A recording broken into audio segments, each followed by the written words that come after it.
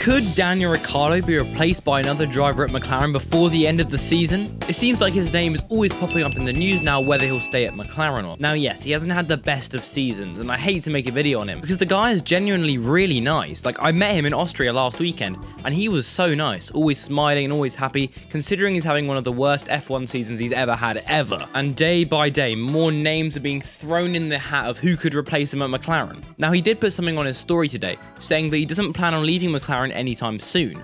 Although we all know what happens with F1 contracts. They're not set in stone. I mean, look at Checo at Racing Point. He was slagged off Sebastian Vettel and they just replaced him just like that. So let's go over the people who could replace him at McLaren. Now, first, I'm going to talk about McLaren's continued interest in IndyCar, and more specifically, the IndyCar drivers. Now, we all know that McLaren have a team in that championship, their drivers being Felix Rosenqvist and Pato O'Ward. But literally today, they signed Alex Palou, and a couple weeks ago, they signed Colton Herta as a test driver. And Herta is actually testing a McLaren car this week, as seen here.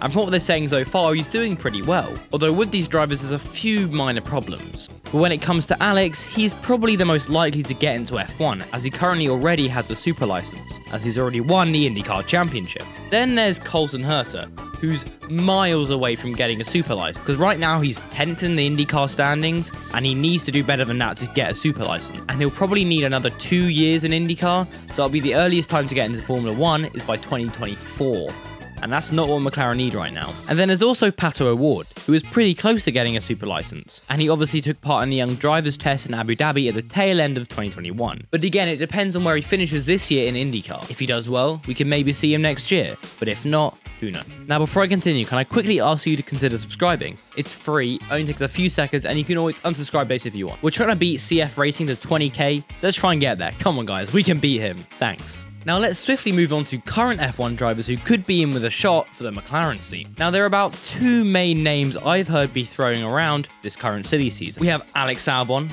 and Sebastian Vettel. I know, I didn't think about that one either. Now listen, Sebastian Vettel is an incredible driver. You don't win four world championships if you're not amazing. But Aston Martin haven't really proven to him or us that they could be a championship winning team in the next couple years, which is why Sebastian Vettel signed with them. As for Vettel himself, he's also been on the decline the past couple seasons. Obviously, Ferrari in 2020 was not a great year, and then the past couple years he's also done pretty badly. That could be in part due to the car, but still, he hasn't done amazingly.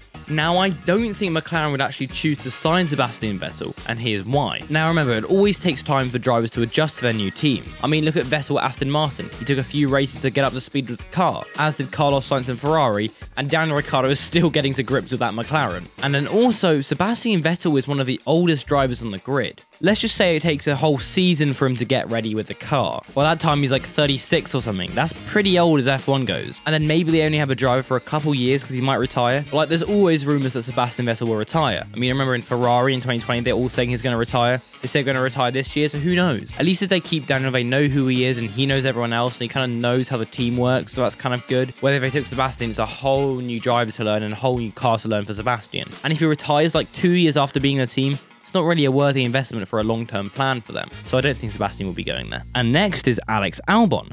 Now, this is tricky because Alex still has some loose Red Bull ties, saying that he isn't a Williams, and it's pretty much just a Mercedes junior team, but it just means that Alex would be thrown around quite a bit the past couple years. And for me, I really think then who knows, in the next couple seasons, he could be at McLaren, and I would love that. Now, finally, an F1 driver who I wanted to go to McLaren, who obviously isn't anymore, is Pierre Gasly. Now, yes, I did make a video on it over here, be sure to watch it after this one, um, but yeah, he's now signed at AlphaTauri, so he won't be going to McLaren, and I think it's a bad move. But uh, yeah, watch that video if you want to find out more. And then the final name I'm going to talk about is Oscar Piastri, who I actually met in Austria. And he is so much taller than I expected. Like, I'm six foot, and he was like my height, and I was like, what? That's a bit weird. Anyway, back to his driving. His name has been thrown about loads this season when it comes to availabilities in F1 teams this year. This guy is so deserving of an F1 seat, and I know I've said that he probably is going to go to Williams, but maybe this could fall through. I'm sure he'd much rather go to McLaren, who's an upper midfield team, to a back marker in Williams. Although I think because he still has ties with Alpine, if he went to McLaren, he'd have to cut those ties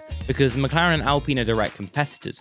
Whereas if he went to Williams, they're at the back of the grid, and Alpine is near the top of the midfield, so it wouldn't really be a conflict of interest. So the only problem with this is will Alpine be willing to let go of their star driver so we can get to another team?